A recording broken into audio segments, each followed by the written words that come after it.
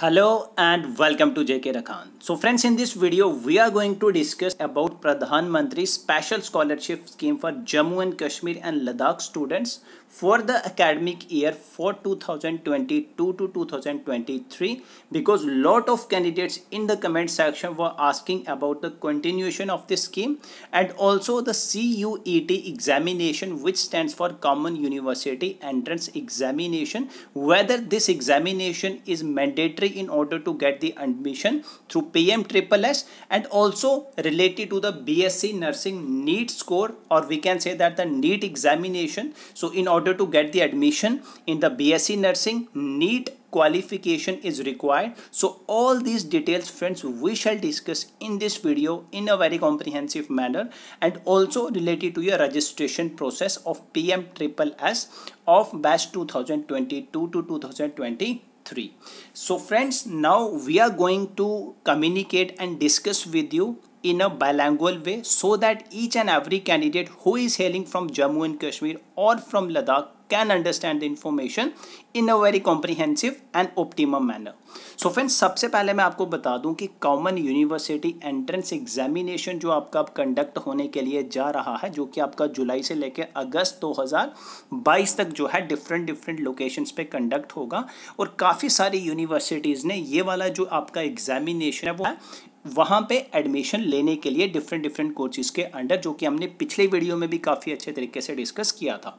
तो जो भी स्टूडेंट्स इस स्कीम के अंडर एडमिशन लेना चाहते हैं, कुछ स्पेसिफिक यूनिवर्सिटीज़ में फॉर एग्जांपल दिल्ली यूनिवर्सिटी और भी काफ़ी आपकी जो स्टेट यूनिवर्सिटीज़ रहती हैं सेंट्रल लेवल की यूनिवर्सिटीज़ रहती हैं तो ये वाला आपका एग्जामिनेशन में अपियर होना काफ़ी ज़रूरी हो जाता है।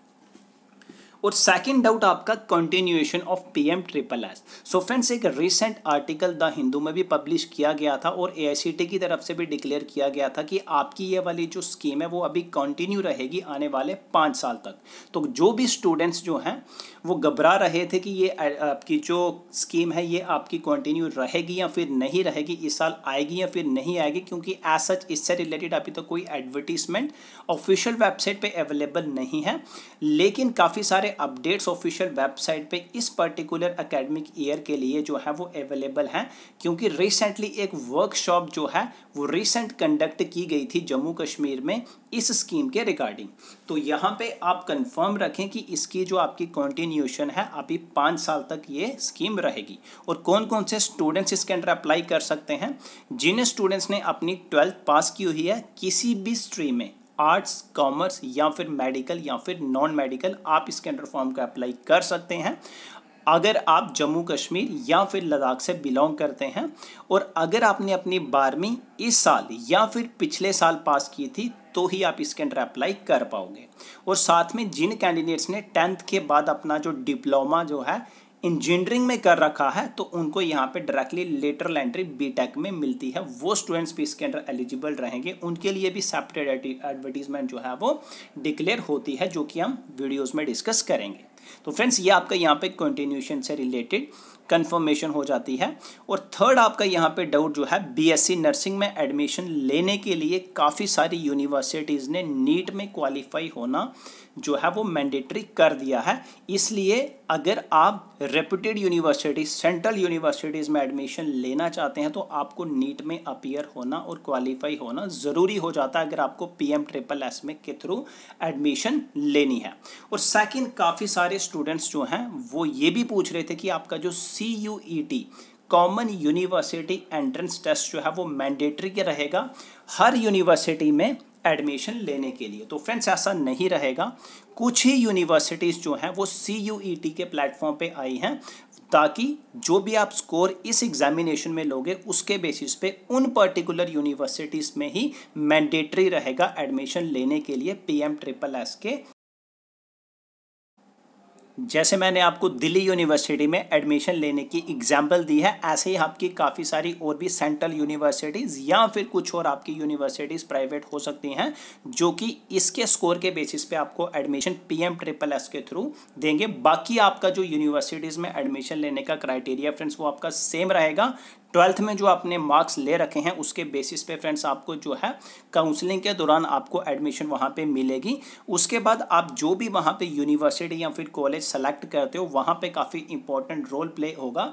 वहाँ पे आपको वही यूनिवर्सिटी सेलेक्ट करनी है, जो एडमिशन आपके डायरेक्ट लेंगी। अगर आप सी यू ई टी में अपियर नहीं होते हो, लेकिन आपको सी यू ई टी में अपियर होना चाहिए, आपको वहाँ पे अपना एग्जामिनेशन देना चाहिए।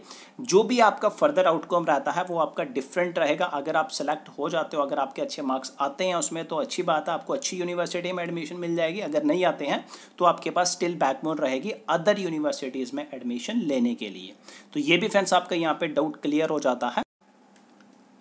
And friends, one thing we would like to make you inform to all the candidates and aspirants who are watching us on this video that we are covering this scheme from past 3 to 4 years.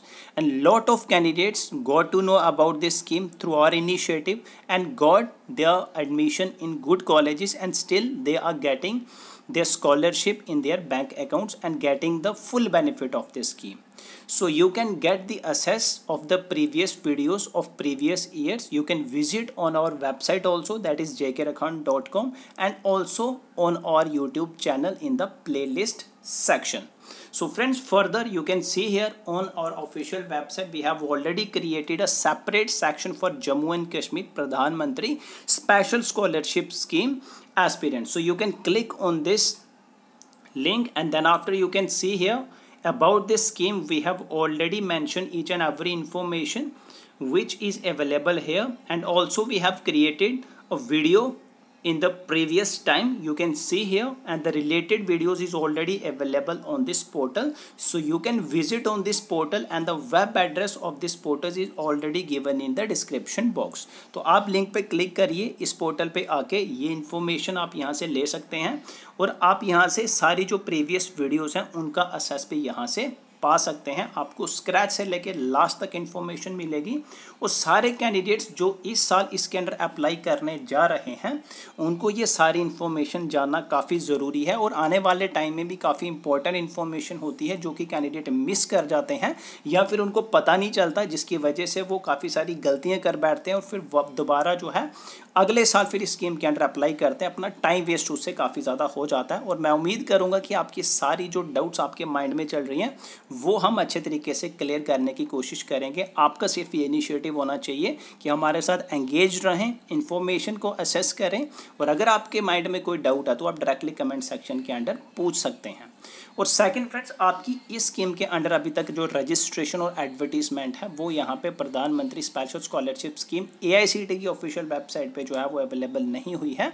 तो friends आप यहाँ पे expect करें कि जुलाई के beginning या फिर जुलाई के मिड 2022 में आपकी जो एडवर्टीजमेंट है और आपकी जो रजिस्ट्रेशन डेट से रिलेटेड इन्फॉर्मेशन है, वो आपकी एआईसीटी की ऑफिशियल वेबसाइट पे अपडेट हो जाएगी। और जैसे ही आपकी फर्दर इन्फॉर्मेशन ऑफिशियल वेबसाइट पे अपडेट होती है same information J dot com की ऑफिशियल वेबसाइट पे, यानी कि हमारी वेबसाइट पे भी अवेलेबल रहेगी। आप यहाँ से डायरेक्टली असेस कर सकते हैं सारी इन्फॉर्मेशन को। तो फ्रेंड्स ये था कुछ डिस्कशन प्रधानमंत्री स्पेशल स्कॉलरशिप स्कीम से रिलेटेड अगर आपके माइंड में कोई भी डाउट स्टिल परसिस्ट कर रहा है you can put your query in the comment section we shall definitely get back to you within a possible time thank you friends have a great day ahead